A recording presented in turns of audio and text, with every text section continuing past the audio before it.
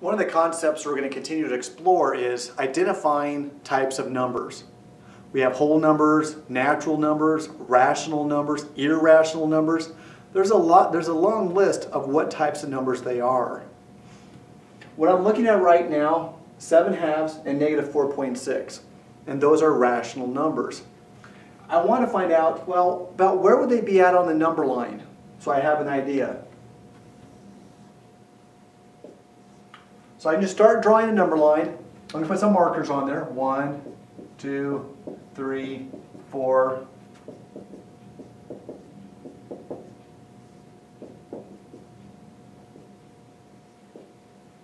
So I had the start, uh, the uh, rough start of a number line. Seven halves is three and a half. So I can find over 0, 1, 2, 3. And since three and a half is not on the number line as a particular tick mark, but I know it's right there between three and four, midway, point, midway through. So I can say that this point right here is a point seven halves. Likewise, negative 4.6, well, I know it's going to be near the negative 4. And it's going to be a little bit less than negative 4. It's going to be roughly there.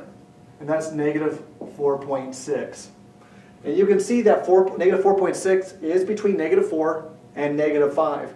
And it's going to be a little bit closer to negative 5 as well because the 0.6 is closer to 5 than it is to this 4 point, or the starting point at negative 4. Sometimes you might want to convert the numbers in your head to get an idea of what's happening. Like the 7.5. Well, it's the same thing as the mixed number 3.5. And that might help you have an idea relationally where they exist on the number line.